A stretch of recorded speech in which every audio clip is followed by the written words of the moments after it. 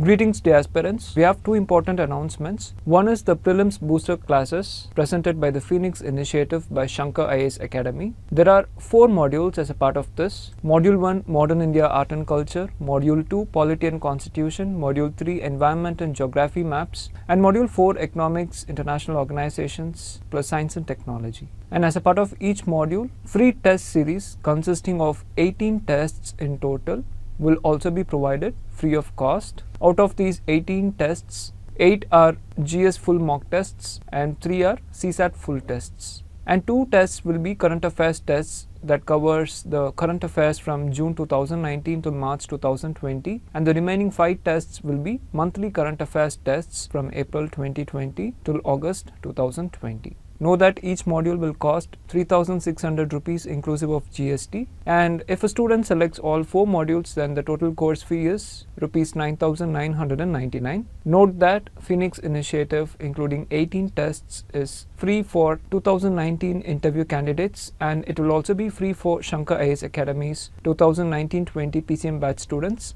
and also for pre-storming 2020 batch students. Now let us move on to the second announcement which is regarding the prelims current affairs test series mock test 2020 which consists of 18 tests in total. These tests began from 22nd August 2020 and the admissions will be open till 4th October 2020. You can take these tests based on your time and convenience. Know that the fee for this 2020 current affairs test series is rupees 1000. This test series consists of an exclusive five monthly current affairs tests covering the current affairs monthwise from April 2020 till August 2020. And know that under this test series, the top three merit students in each of the five monthly current affairs tests will be given 100% fee reimbursement. So you can see that in total 15 candidates will be awarded 100% fee reimbursement. For the benefit of the students, if you subscribe for 5 monthly current affairs tests as a complimentary, Shankar IAS Academy is providing additional 13 tests free of cost. These additional 13 tests consist of 8 GS full mock tests, 3 CSAT full tests and 2 more exclusive current affairs tests covering current affairs from June 2019 till March 2020. The registration link for both these initiatives is given in the description section of the video and also in the comment section. With this, let us move on to the Hindu news analysis for the date 26th of August 2020. Displayed are the list of news articles along with the page numbers taken from five different editions. Let us now begin our analysis. This news article tells that the government of Arunachal Pradesh has decided to pursue the sixth schedule status for the state of Arunachal Pradesh. So in this context, you need to know about this sixth schedule from Tulim's perspective and we shall also have a brief discussion about inner line permit that is mentioned in this news article. The relevant syllabus is given here for your reference. See, in part 10 of Indian Constitution, we have articles 244 and 244A this part 10 provides a special system of administration for certain areas that are designated as scheduled areas and tribal areas. And for this purpose, we have the 6th schedule of Indian Constitution that deals with the administration of tribal areas in the four northeastern states which are Assam, Meghalaya, Tripura and Mizoram. So simply put, under the 6th schedule, a special form of administration is envisaged for the tribal areas of Assam, Meghalaya, Tripura and Mizoram. See, the tribes in all these four states have not assimilated the life and ways of the people of rest of India. Their way of life is much different from the rest of the country. So, in order to protect the people and the culture, certain tribal areas in these states are recognized under the sixth schedule. So, this is the basis for having the sixth schedule in Indian constitution. So, what are the special features of administration provided under this schedule? Let us see them now. See the tribal areas in these four states have been constituted as autonomous districts. Here one thing which you should note is that though they are autonomous districts, they do not fall outside the executive authority of the concerned state. Next, know that the governor of the state concerned is empowered to organize and reorganize the autonomous districts. And if at all there are different tribes in a single autonomous district, then the governor can divide that particular district into several autonomous regions. Know that each autonomous district has a district council. This district council consists of 30 members, where 4 are nominated by the governor and the remaining 26 members are elected on the basis of adult franchise. Now coming to the term of office of the members, the elected members hold office for a term of 5 years and the nominated members hold office during the pleasure of the governor. Next know that each autonomous region also has a separate regional council. So the district and the regional councils administer the areas that come under their jurisdiction. They can make laws on certain specified matters like land, forests, canal water, social customs, etc. But if you see, whatever laws made by these councils require the assent of the governor.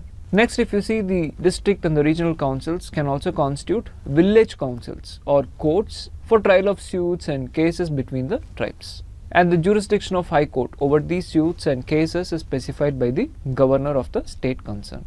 Next, if you see the district council can also establish, construct or manage primary schools, dispensaries, markets, ferries, fisheries, roads and so on in the district. It can also make regulations for the control of money lending and trading by the non-tribals. And as usual, whatever regulations made by the district council require the assent of the governor of that particular state. Next, if you see the district and the regional councils are also empowered to assess and collect land revenue and they also are empowered to impose certain specified taxes. So, these are some of the powers of the district and the regional councils. Next, know that the acts of parliament or the acts of the state legislature do not apply to the autonomous districts or autonomous regions or sometimes they are applicable with certain specified modifications and exceptions.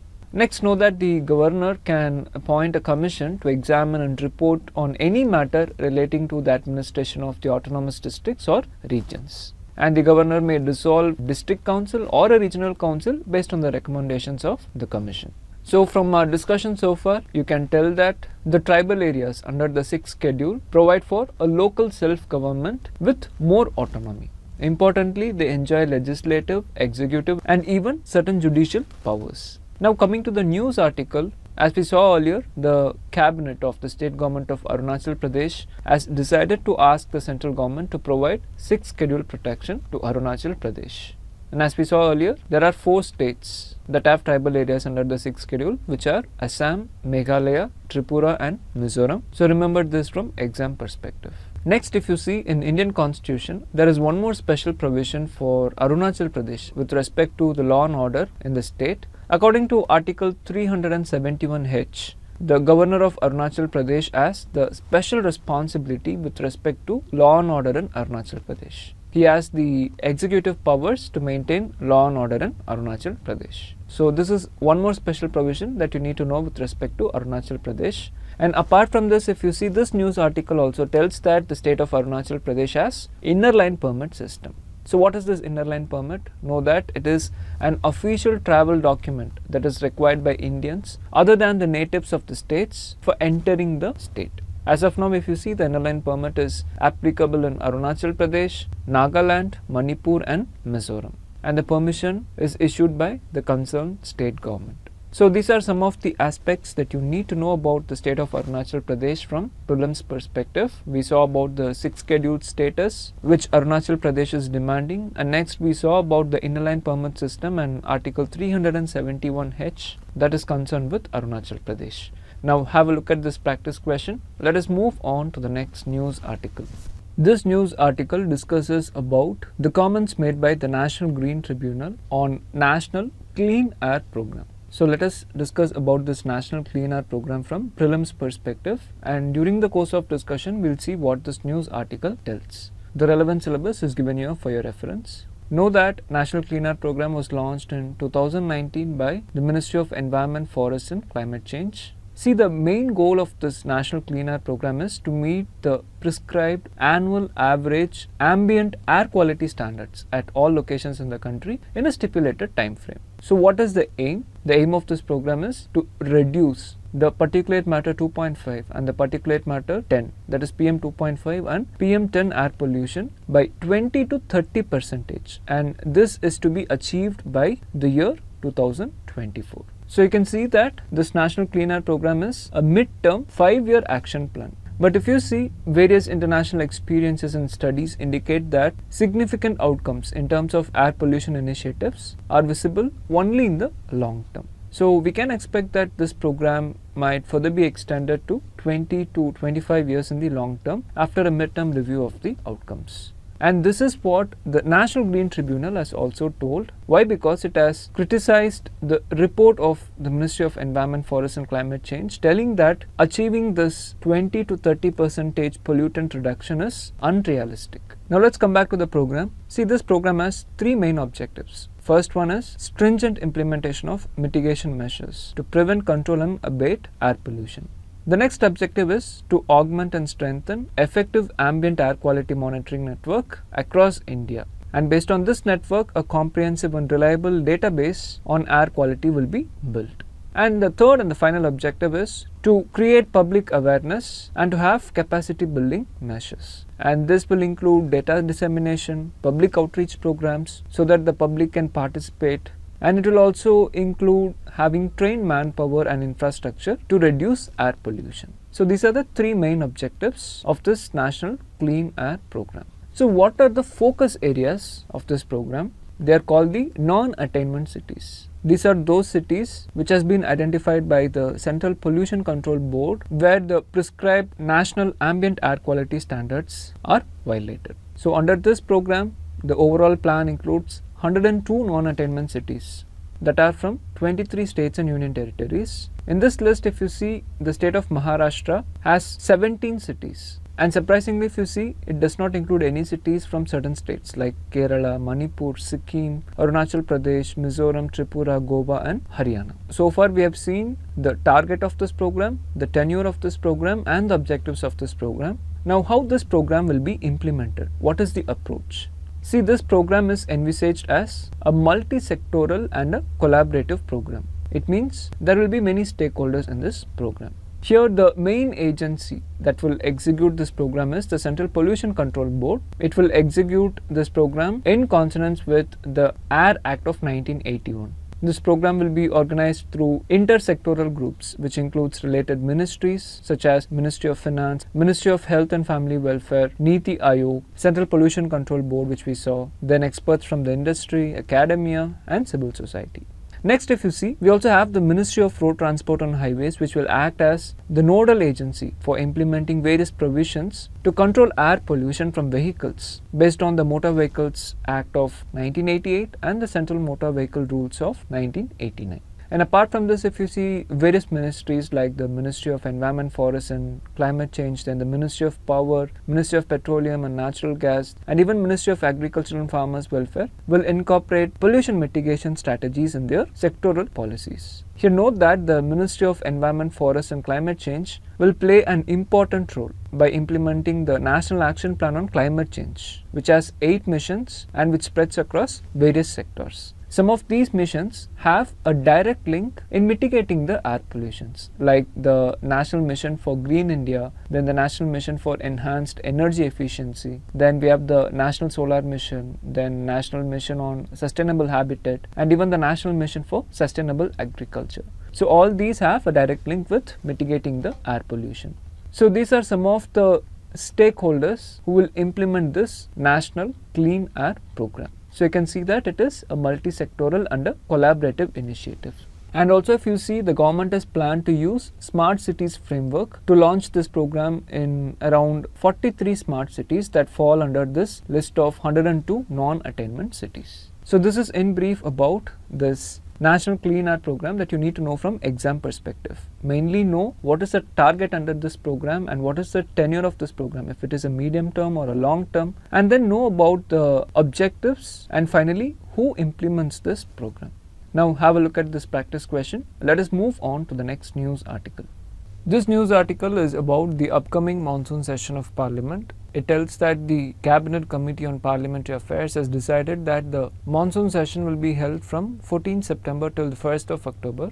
So in this context, let us discuss some important terminologies related to the sessions of Indian Parliament from prelims exam perspective. See the sessions of Parliament, prorogation and dissolution are all discussed in Article 85 of Indian Constitution. Clause 1 of this article tells that the President shall from time to time summon each House of Parliament that is both Lok Sabha and Rajya Sabha to meet at such time and place as the President thinks fit. And it also tells that six months shall not intervene between its last sitting in one session and the date appointed for its first sitting in the next session. Then if you look at clause 2, it tells that the president may from time to time prorogue the houses or either house and dissolve the house of the people that is Lok Sabha.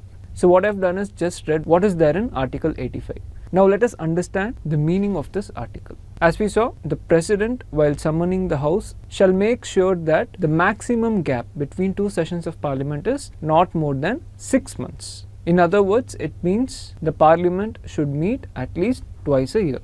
If you see, usually three sessions of parliament are held every year. One is the budget session that happens from the months of January or February till the May month. Next we have the monsoon session which is from July till September and finally we have the winter session which happens between November and December. Here note that the meaning for the word session is the period spanning between the first sitting of a house and its prorogation or dissolution in case of Lok Sabha. This period between the prorogation of a house and its reassembly in a new session is called as recess. Know that a sitting of parliament can be terminated by adjournment or adjournment sine die or prorogation or dissolution. So what is adjournment? Adjournment suspends the work in a sitting for a specified time. Now coming to adjournment sine die, it means terminating a sitting of parliament for an indefinite period. This power of adjournment and adjournment sine die lies with the presiding officer of the house. Assume that the presiding officer declares the House adjourned sine die. Then within few days, the President issues a notification for prorogation of the session. Also know that the President can prorogue the House while in session. So this is what we mean as prorogation. Next we'll see what is dissolution. See only Lok Sabha is subject to dissolution and Rajya Sabha is not subject to dissolution. Why? Because Rajya Sabha is a permanent house, hence it is not subject to dissolution. See, when prorogation ends a session, dissolution ends the very life of the existing house. We know that the elected government's tenure is 5 years. When this 5 years tenure comes to an end, the dissolution of Lok Sabha will be automatic. Or it can also be when the president decides to dissolve the house under Article 85. So this is in brief about the session of parliament and various terminologies related to the session of parliament that you need to know from prelims perspective. Now have a look at this question. Let us move on to the next news article. This news article discusses about an industry interaction of the Union Finance Minister. The minister has said that GST rate revision proposal would be taken up by the GST Council to reduce the rates on two-wheelers. In this regard, the minister mentioned that two wheelers are neither luxury goods nor sin goods. So the minister said that there should be GST rate revision to reduce the tax for the same. Just have an idea that two wheelers currently attract 28 percentage tax under GST. So in the context of this news article, let us understand what do we mean by sin good and what do we mean by luxury good. First let us see sin good. See a sin good is also called as a demerit good. It means that particular good is harmful to the society. It is socially undesirable. This usually includes products like cigarettes, tobacco, alcohol, soft drinks, candies, fast food, etc. And if you see the products vary from country to country that are designated as sin goods. And whatever tax that is collected on these sin goods is termed as sin tax. If you see, sin tax is globally prevalent practice under which the sin goods attract higher rates of tax compared to the usual goods that are present in the market. Now, why additional taxes are imposed? Because the government aims at efforts to discourage people from using such products or services. Now, let us take an example of tobacco. In India, during the Union Budget speech 2020, the Union Finance Minister proposed to increase excise duty on cigarettes by way of increasing the national calamity contingent duty on cigarettes and including other tobacco products except bidis. So you can see that this excise duty that is the national calamity contingent duty is a type of sin tax that is imposed on the tobacco product. In this case it is the cigarette. So what we are seeing is the common definition for what do we mean by a sin good or a demerit good and what do we mean by a sin tax or the demerit tax. It is known by different names as in the case of tobacco as we have just seen now. Now let us see about luxury goods. First, what is luxury? We know that luxury by definition is hard to explain. This is because it is subjective in nature. Why? Because one person's luxury can be another person's necessity. For example, two wheeler may be a luxury to a particular person, but the same two wheeler may be a necessity to another person. So we can say that luxury good includes any commodity or service that is specified as providing comfort or enjoyment or pleasure to a person's life. Earlier, if you see, before the introduction of GST, there was tax on luxury items, which was commonly known as luxury tax. And if you see, it was not directly under the central government's ambit, it differed from state to state. But with the introduction of goods and services tax, luxury items are now put under the highest tax bracket, which is 28 percentage. Some of the luxury products include luxury cars, certain types of hotel services, etc. So this is in brief that you need to know about sin tax and luxury tax. Now have a look at this practice question. Let us move on to the next news article. This editorial article discusses about the current state of manufacturing sector in India, where the author has compared India's manufacturing sector with that of China's, and he tries to tell that India's industrial sector is lagging, for which he has given certain suggestions to improve the same. So let us discuss this editorial now. The relevant syllabus is given here for your reference. For freshers, try to know there are three sectors that drive India's economy. They are primary, secondary and tertiary sectors. Now what is primary sector? Know that in primary sector, goods are produced by extraction and collection of natural resources. Activities in this sector include farming, forestry, hunting, fishing, mining, etc. Know that a majority of India's population is dependent on this sector, directly or indirectly. Now coming to the secondary sector, it is a sector in which the raw materials are transferred to valuable products. It is this sector that manufactures goods which is associated with different kinds of industries. Hence it is also called as manufacturing sector or also industrial sector. Some example include construction industries, manufacturing industries, processing industries, etc. Now coming to the tertiary sector, it is also known as services sector. It includes production and exchange of services. When we tell services, it includes banking, insurance, transportation, communication, etc. So these are the three sectors that you need to know in brief. Now if you see sectoral wise shares in Indian economy, services sector is the major contributor where it contributes around 55 percentage to India's GVA and the manufacturing sector contributes roughly around 30 percentage and the remaining by the primary sector which is nothing but agricultural forestry and fishing so our focus here is about the manufacturing sector. The author discusses this editorial wherein he compares India's manufacturing sector with that of China's. See, there are many claims by the government that uh, manufacturing sector in India is improving. If you see, even the Prime Minister of India has told that the manufacturing sector of India has the potential to reach 1 trillion US dollars by 2025.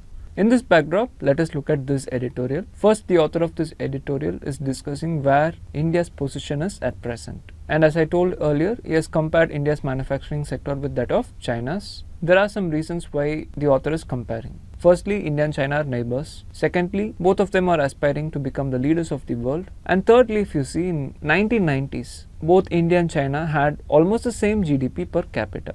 But within a short span, if you see, China saw a tremendous growth in manufacturing. There was a tremendous growth in China's economy, which was faster than India's. The author tells that when India opened up its economy in 1990s, the target for industrial manufacturing rate was to achieve 12 percentage growth. But if you see, India's manufacturing grew only by 7 percentage. At the same time, China's growth rate was somewhere around 10.7 percentage. To be precise, 10.68 percentage. Next, the author tells that India's share of manufacturing in GDP stood at just 15 percentage in 2018 and this value is just half of China's figure. In this regard, the author tells that China ranks first in contribution to the world manufacturing output whereas India ranks sixth. Next, the author has also brought in one more parameter. He tells that China was among the largest exporters of manufactured goods in 2018. It almost had 18 percentage of the global share. But if you see, India was not a part of even the top 10 exporters in the year 2018. So based on all these data, the author tries to tell that India lags far behind China in achieving excellence in the manufacturing sector. So what are the reasons for India's lagged industrial growth? This is the second part of this editorial. According to the author, India faces many problems in promoting its manufacturing sector. It includes the infrastructure constraints, then there is a disadvantageous tax policy environment. Then the author also tells that there is a non supporting regulatory environment in India. Then he tells that there is a high cost of industrial credit or the industrial loans to operate the businesses. And then the author tells that there is poor quality of the workforce. That is, the skill level of the workforce is not that competitive. And he also tells that there are rigid labor laws in India. These are some of the problems which the author has told. Along with this, he has also told that there are restrictive trade policies, low investment in the research and development in the manufacturing sector, then delays and constraints in land acquisition, and even the inability to attract large scale foreign direct investment into the manufacturing sector. So, these are some of the problems in promoting the manufacturing sector in India according to the author. In the final part of the editorial, the author discusses the way forward to make India a manufacturing hub. Firstly, the author is of the opinion that this COVID 19 pandemic has given India a great opportunity to boost its domestic manufacturing. This is because several manufacturing companies are planning to exit China as of now. The author tells that many American, Japanese, and South Korean companies that are based in China have started discussions with the Indian government to relocate their plants to India. Some of the reasons quoted by those companies are the supply chain disruptions due to the COVID 19 pandemic and even the recent Chinese aggressions in the world's geopolitical scenario, like the recent India China conflict, then Chinese assertion in the South China Sea, etc. So, these are some of the reasons why the manufacturing companies are planning to exit China and relocate their manufacturing base in India. So, the author tells that India has to make best use of this opportunity. Secondly, the author tells that the state governments should actively participate and have an effective policy coordination with the central government in order to boost the manufacturing activities in India. Currently, if you see, very few states lead in the manufacturing activities like Maharashtra, Gujarat, Tamil Nadu, Karnataka, and Uttar Pradesh. According to the author, availability of land area is the prime reason why these states lead in manufacturing activities, that is, the secondary sector activities. On the similar lines, the author tells that India should make use of the land areas that are available in other big states like Andhra Pradesh, Bihar, Chhattisgarh, Madhya Pradesh, Odisha, Rajasthan, Telangana, West Bengal, to name a few, in order to increase the manufacturing productivity in these states. Next, the author tells that there should be state specific industrialization strategies, which should be made and implemented in a mission mode. And in addition to this, the author also tells that the policy actions of the central government and the state governments should be well coordinated. Here, the author has quoted suggestion which was recently given by the Union Minister of Law and Justice, Mr. Ravi Shankar Prasad, where the minister suggested forming a strategy group consisting of representatives from the central and state governments along with the top industry executives in order to boost electronic manufacturing. So the author tries to emphasize that there should be proper coordination between the policy actions of the central government and the state governments. Also, the author tells that the development of industrial corridors and uh, the smart cities program should all be given priority. So these are some of the suggestions given by the author to improve the industry sector or the manufacturing sector in India. This is all about the discussion of this editorial. Let us move on to the next news article. This news article mentions that the decommissioned aircraft carrier Virat is said to be scrapped at a shipbreaking yard at Alang, which is located in Gujarat. The theme for this news article discussion is about ship recycling in India. So let us discuss two major aspects of ship recycling. One is about the location of ship recycling yards in India and secondly we shall see about the international conventions and the Indian rules and regulations that govern ship recycling. See, ship breaking in India began around 1910s. It began in Kolkata and Mumbai. Later, if you see, the place called Alang in Gujarat became very famous for ship recycling. At present, if you see, it is responsible for more than 95% of total ships that are recycled in India. So at present, if you see, there are four major centers where ship recycling is carried out. Alang in Gujarat, then in Mumbai at a place called Darukhana, then at Kolkata, then at Azhikal in Kerala. And as per recent news sources, shipbreaking activities in Mumbai's Darukhana have almost stopped. So at present there are three active places where ship recycling is being carried out. And if you see, India is a major player in the global ship recycling market. As of 2018, as per the United Nations Conference on Trade and Development data, India's share is 26 percentage. It is the second largest global ship recycling market. The first is Bangladesh with a 47% share, and the third place is Pakistan with a 22% share. So you can see that India's share in the global market is huge. But for a long time, India did not follow the international standards for ship recycling. If you see, there is a convention called as Hong Kong International Convention for Safe and Environmentally Sound Recycling of Ships. This convention was signed in 2009, and if you see, India was not a part of this Hong Kong Convention. Finally, India acceded to this convention on 28 November 2019, and post this, India also enacted a legislation called as the Recycling of Ships Act. This Recycling of Ships Act of 2019 restricts and prohibits the use or installation of hazardous materials in ships. It is not applicable to warships or non-commercial ships that are operated by the government. So India has taken steps to change the ship recycling industry as being environmental friendly by enacting this Recycling of Ships Act 2019. To know more about this Hong Kong Convention, we request the viewers to have a look at our Target 2020 prelim series for the month of December 29. It was the 23rd topic which we discussed, this Hong Kong Convention 2009. So these are some of the important aspects which you should know about ship recycling industry in India. Now let us move on to the practice questions discussion session. Look at this first question. It is a two statement question the first statement tells that the special form of administration provided under 6th schedule of constitution is currently applicable in Assam, Meghalaya, Mizoram and Arunachal Pradesh. And the second statement tells that the inner line permit system is applicable only in states with tribal areas of 6th schedule. Here both the statements are incorrect.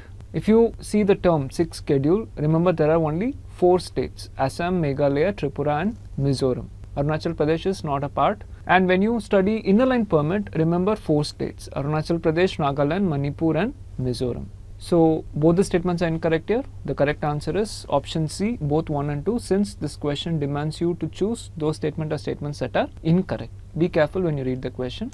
This question is about National Clean Air Program. It tells that which of the following ministries or bodies or departments are involved in the implementation of National Clean Air Program. Central Pollution Control Board, Niti Aayog, Ministry of Road Transport and Highways, Ministry of Petroleum and Natural Gas, Ministry of Housing and Urban Affairs. Here, all these five institutions are a part of implementing this National Clean Air Program as we saw during our discussion. So, here the correct answer is option D 1, 2, 3, 4, and 5. This question is a two statement question about the session of parliament. The first statement tells the termination of session of the house by an order of the president under article 85 of the constitution is called prorogation. Yes, this statement is correct. Article 85 deals with the session of the parliament. It also speaks about the prorogation and dissolution. Now look at the second statement. It tells that while Rajya Sabha is not subject to dissolution, Lok Sabha can be dissolved by its presiding officer. Read the statement again. The first half of the statement is correct. Rajya Sabha is not subject to dissolution since it is a permanent body. Whereas Lok Sabha is subject to dissolution. But see, who can dissolve? It can be dissolved only by the president, not by the presiding officer. So be careful when you read the statements. Here the correct answer is option B, 2 only, since you need to choose those statement or statements that are incorrect. Now look at this question about GST. It is again a two statement question and you need to choose those statement or statements that are correct. Look at the first statement. It tells that currently there are four tax slabs under GST. Yes, this statement is correct. The four tax slabs are 5%, 12%, 18%, and 28%. And out of these four, the luxury items attract the maximum GST, which is 28%. Now look at the second statement. It tells that items taxed under the highest tax slab of GST include cigarettes, alcohol for human consumption, aerated drinks, etc. Now, if you are aware of the recent current affairs and if you keep reading newspapers daily, you can tell that alcohol is out of the GST purview.